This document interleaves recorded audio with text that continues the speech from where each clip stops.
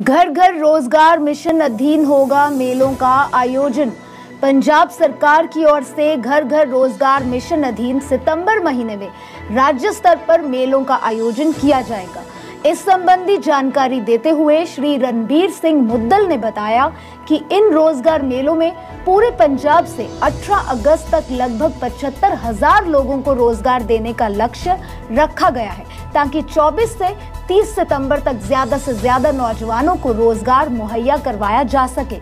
इस संबंधी पूर्ण जानकारी विभाग की वेबसाइट www.pgrkam.com पर प्रकाशित भी की जाएगी। युवा 25 अगस्त से 15 सितंबर तक खुद का रजिस्ट्रेशन करवा मेलों में भाग ले सकते हैं।